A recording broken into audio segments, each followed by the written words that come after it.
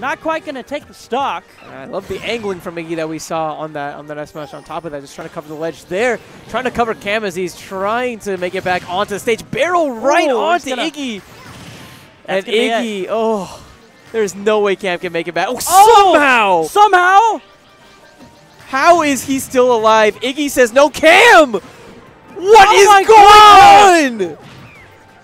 That was the most insane series of recoveries I've ever seen. Even Cam can't believe it in the in the player cam. That was ridiculous. oh, but this is going to be a tough recovery here. He's not gonna Oh. make that. Come on, Cam. How do you pull up like four amazing recoveries?